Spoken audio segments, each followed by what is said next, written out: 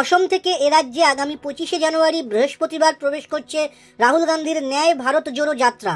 কংগ্রেস সূত্রে খবর, সকাল এগারোটা নাগাদ কোচবিহারের বক্সিরহাটের অসম সীমানা দিয়ে বাংলায় প্রবেশ করতে পারেন কংগ্রেস নেতা।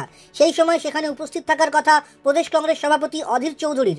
গত চোদ্দই জানুয়ারি মণিপুর থেকে রাহুলের ন্যায় যাত্রা শুরু হয়েছে। তা এ রাজ্যে ঢুকছে এগারো দিন পর। বাংলায় রাহুলের কর্মসূচি যাতে সাফল্য পায়, সেই লক্ষ্যে সোমবার তুফানগঞ্জে মিছিল করে কংগ্রেস।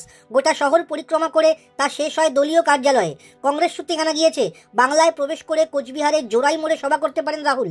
তারপর সেখান থেকে বেলা বারোটা নাগাদ তুফানগঞ্জের চামটা মোড় বসাকপাড়া এলাকায় এসে মধ্যাহ্নভোজন সারবেন তিনি।